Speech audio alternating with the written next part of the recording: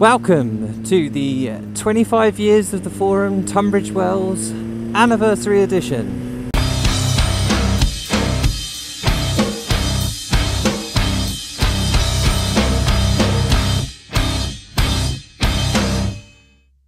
I'm currently on my way to T Wells on the most infuriating road on the planet because all it takes is, as you can probably just about make up at the top there, is one Tesco's lorry on this road and it grinds to a halt for the entire 30 miles of it. I used to have to commute this on a daily basis. It was actually a big catalyst in getting a bike was to get around this and the only reason that I'm not blasting around all of this traffic now is because I get to chat to you instead. So you know win-win. Um, yeah. Today is the launch of an exhibition that's going to be running at the Trinity Arts Centre for I think the rest of this month leading into October. And it is a photo exhibition as far as I'm aware there might be a few other things I don't know yet of the history of the Tunbridge Wells Forum which is pretty much where I learn everything. Uh, it's a bold statement to make but it's actually true. It was a really important part of my growing up. It's a real sort of uh, centre point for music culture and alternative culture, not just in Tunbridge Wells but in the surrounding area. And the the very existence of it as of a venue has been crucial to so many artists in the 25 years that it's existed. And you might think that that's changed with the way that the music industry works now and the fact that bands seem to manage to be able to get themselves onto major labels or have some kind of following from doing no shows whatsoever and just working with PR and social media teams. But the fact of the matter is that that has always been the case.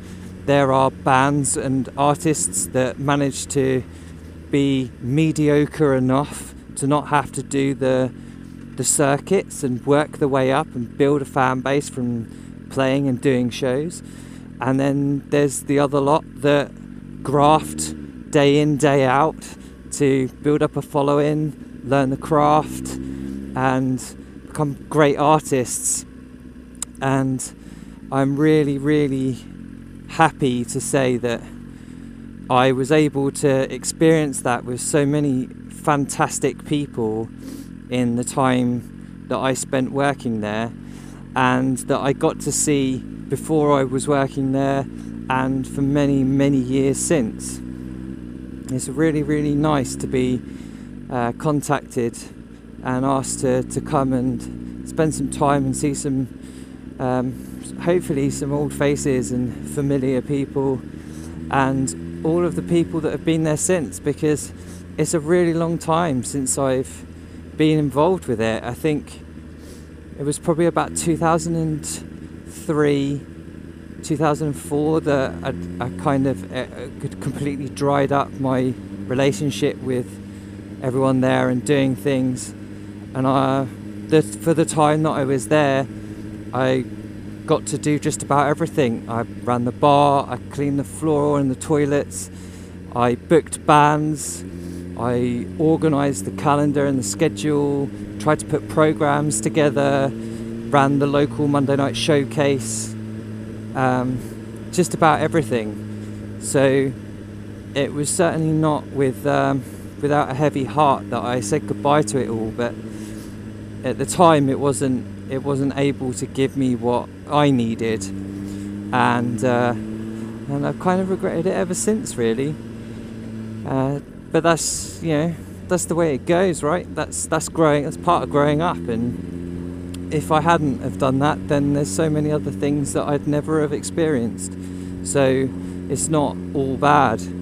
And it's always really nice every time I come back. And whether that is a punter going and watching something um, and getting to catch up with everybody, or whether it's as an artist and going back and playing in bands, which I've done a couple of times, and and it's been really great every time. And it's not just because it's been a load of uh, old friends and stuff coming and, and watching us play, but because it's a great venue. It's got an amazing sound system and um,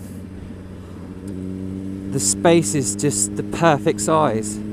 It still amazes me how you can have such impact from such a small interaction with a group of people, and uh, and also just how strong that or that sort of tribalistic feel and community spirit really is when it comes to music.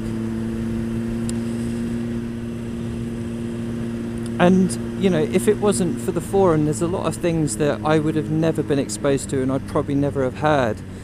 There was a really big thing for like post rock and math rock bands with everyone that worked there, but that had driven out of a few people being really into the original DC hardcore scene, and um, you know all of these like post punk bands and getting to be able to have like the first exposures to people like Slint and Tortoise, and you know, it was just really something that I wasn't expecting. When what I was familiar with at the time was the same as every other teenager. You pick up Kerrang every week and you get told to listen to Green Day, or you get told to listen to Nirvana or Marilyn Manson, or you know whatever it is that the labels want to push, and so therefore the magazines have to take because they sell covers and then you're suddenly in this world where you get these diverse people that all listen to completely different stuff and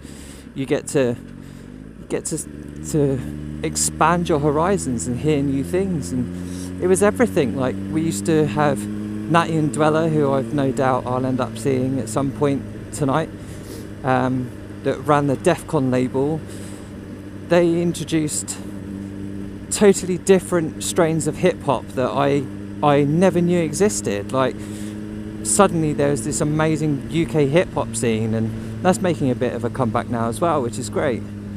Um, and even like drum and bass, and um, you know some of the sort of dance uh, genres that weren't just like club mainstream stuff. All of that I discovered through working every single day of my life for four years in a music venue it was it was an amazing education. For a long time, my life just revolved around this tiny little quarter mile circle.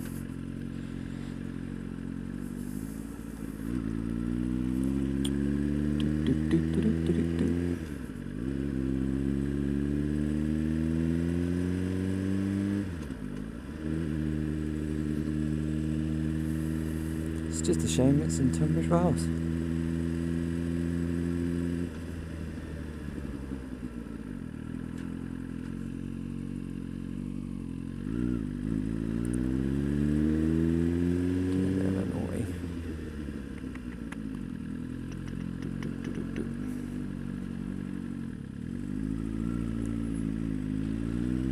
So one of my best friends lived in a house just there.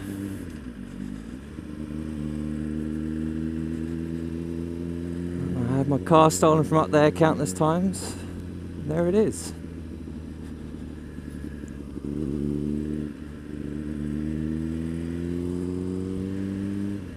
Awesome.